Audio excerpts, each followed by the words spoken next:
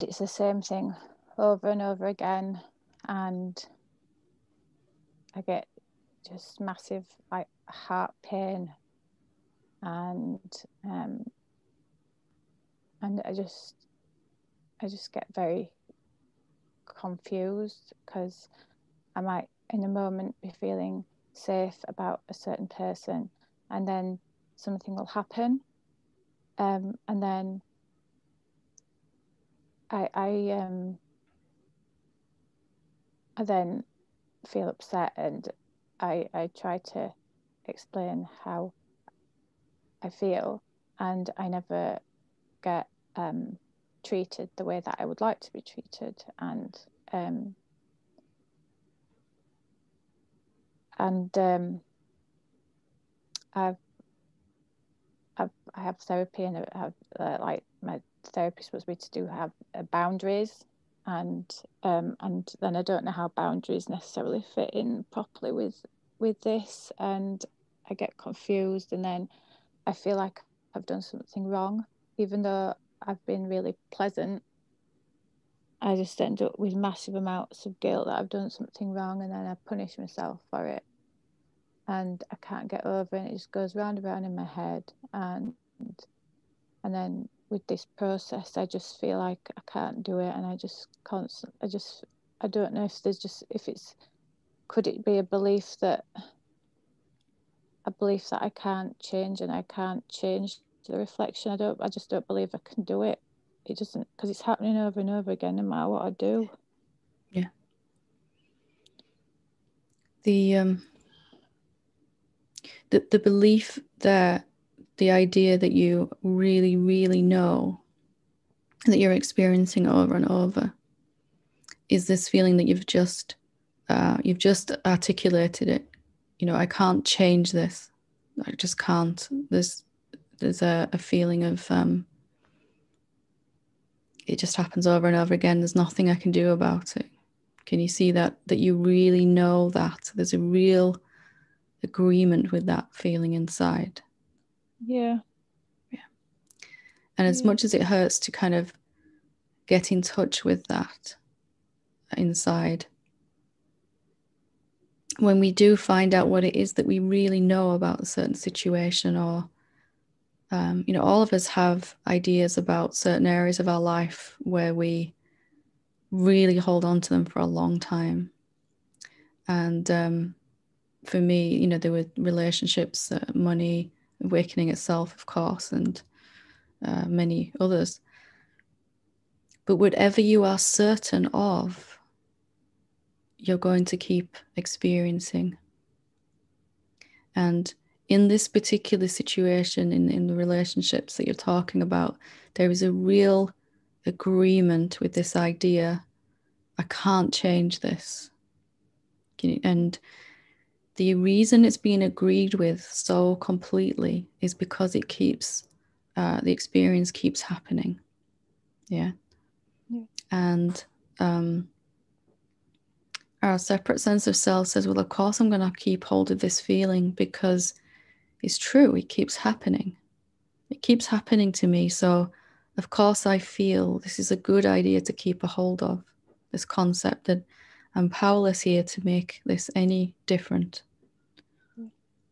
But if we can begin to forget this idea by recognizing um, it's happening because of my powerful agreement with this idea rather than what our ego or our mind says that, well, when this stops happening, then I'll drop this idea. I won't need it anymore then. Yeah. But as you so clearly said, so beautifully said, that is not happening, is it? No. No. So if you can see the uh, attitude inside that's really being held on to, a real sense of being powerless to change something. Mm-hmm. And then develop a willingness to question if that is so. And then you can begin to move beyond this. You could go on for a very long time believing this idea and experiencing it, but it's becoming so painful because, well, it's been painful for a while, but because um, it's been agreed with so much. And the more that you wake up and see what you are as you are doing, what you really are, the more this sense of feeling disempowered and helpless to change anything is is out of agreement with what you have seen yourself to be. That's why it hurts so much. Mm-hmm. Yeah. yeah. Can you today mm-hmm. question this idea just a little bit more than you did yesterday? The belief that I can't change it. Yeah. Can you see that something inside really wants to agree with this? And that's okay. We don't need to judge that part of us. Mm-hmm. It's the part of us that works in separation and duality and feels really justified in holding on to this idea because it feels true. Ego says, but I keep experiencing it. Obviously, this idea is true. Mm-hmm. But it's never going to end that way. It's never going to come to a resolution that way. So is the heart pain, the really bad heart pain, like it feels like my heart's just broken and it's, it's a, over and over again. Is, disallowing the belief? It's a disallowing of the love that is trying to come to you in the form of a relationship and the love that's trying to come through you as an embodiment of what you really are and have seen yourself to be. So when we when we pinch off that love by believing some idea, any idea, but whichever idea we're believing, we'll feel it in a particular uh, chakra, you know, and then um, as a as a disharmony in the energy flow, and then if it gets bad enough, it will be a strong emotional response and a strong uh, physical response in the end too. You know, if we really have been agreeing with this idea for a very long time. Because I believe that I can't change anything my life's just in in such a mess for so long. I just feel like I can't change any. So you can draw a line in the sand right now here with me and say, okay, I can really see this idea has kept reflecting back to me as all of these experiences.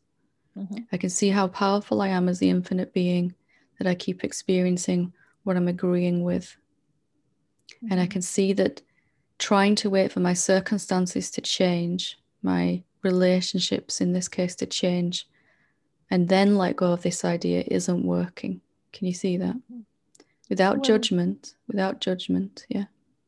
So when my therapist tells me to do certain things, should I not be doing them? I get very confused. I think it's good to go with what the therapist is saying. Um, you know, it's helpful but I'll say from my own experience, I could not set any boundaries until, uh, not consistently at least, until I respected and loved myself. I'd allowed that love for myself to flow. Then it was natural and effortless to say to someone, actually, I'd rather you not treat me this way, or could you not say that, or, you know, whatever it is that we we we call boundaries, mm. or to to recognize it's okay to spend some time on my own and then some some time with someone else. You, you get the sense of it, yeah. Yeah. So have I done something wrong then that I shouldn't have said anything? Absolutely not. Absolutely not. Each one of us comes into this lifetime only knowing how to uh, love ourselves conditionally and others. Mm-hmm. I love you as long as you stay with me. I love you as long as you make me happy. I love you as long as I feel safe with you. You know, all of all of that. There's nothing wrong with that, but it's just not really working for you anymore, is it? As you as you have seen yourself to be something um, that is the source of love, that is love. Mm-hmm. And then loving conditionally like this is no longer working for you. No. In fact, even this idea that you're powerless to change this is playing out even in enforcing these boundaries. You keep experiencing not being able to enforce the healthy boundaries that would reflect your own self respect. Can you see that? Yeah. I can't, I just can't do this. I can't change it. Is the essence of feeling a limited, separate being. Yeah. And did your bound did you have your boundaries always been this like bef- before and, and or after? I know there is no before and after, but did the way you want to be treated, or has it always remained the same? I had zero boundaries I let everyone walk all over me. I let people treat me terribly, sometimes those closest to me. And uh, that has, I'm happy to say that has turned around. Um, much to my surprise, uh, you know, sometimes I'll find myself saying something that is coming out of my own self love and self respect. And it also happens to be exactly what the other being needs to hear in that moment. Look, please don't talk to me like that or treat me this way or look, I just want to spend some time on my own or, you know, something that I just mm-hmm. would not have been able to to do mm-hmm. before. And I tried to do that so long as a separate being, but because of this feeling that I can't, I can't, I can't, feeling of powerlessness, I had to keep experiencing failure over and over again, not being able to do it. Mm-hmm. And when when there's it's to do with another person and the energy is the same energy. Yeah. Is it? That you're both both beings let's say if we're talking about a romantic relationship both beings in that relationship are experiencing this i can't feeling this real agreement that i'm powerless. You might be experiencing it as i can't enforce the boundaries that i want to enforce. Can't mm-hmm. change this. The other being will be experiencing i can't allow myself to love this person as i want to love them or treat them the way i want to treat them same belief experienced two different ways, but the same frequency. So as you cultivate a willingness to question this belief, even while it's still reflecting, you're not mm-hmm. waiting for the reflection to change because that will never happen first. Never. No. Yeah. And if you see that clear enough, then you really get kind of I got a little bit angry in the end. Not angry with myself or anyone, just angry at I don't want to keep experiencing this over yeah, and over. So I feel, yeah. Yeah. So, so you question. turn that anger into determination.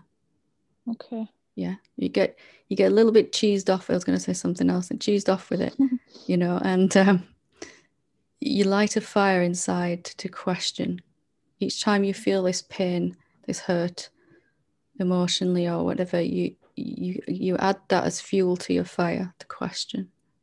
So I, I say, um, is it true I can't change this? Yeah, that that um, whatever you're just challenging the assumption, whichever question feels right. You're challenging the assumption this is you're powerless here to change anything. Mm-hmm. Because until we really question it, we have to keep experiencing. Okay. Yeah. All right. Good question. Yes, thank you very much. Thank you. You're very welcome. I'm sure it's helped many people.